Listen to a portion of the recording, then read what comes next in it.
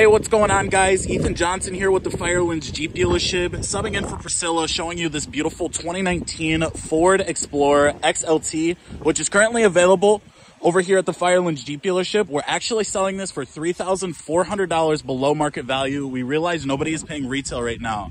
Uh, a little bit about this vehicle.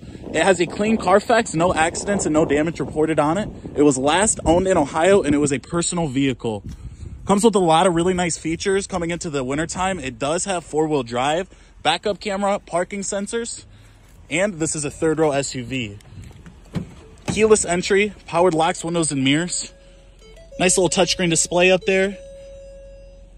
Different driving modes. Bluetooth and only 30,314 miles on here. Checking out the back seat here. There's our third row. Seats fold up climate controls, lights in the back here. Again, this beautiful 2019 Ford Explorer XLT is currently available.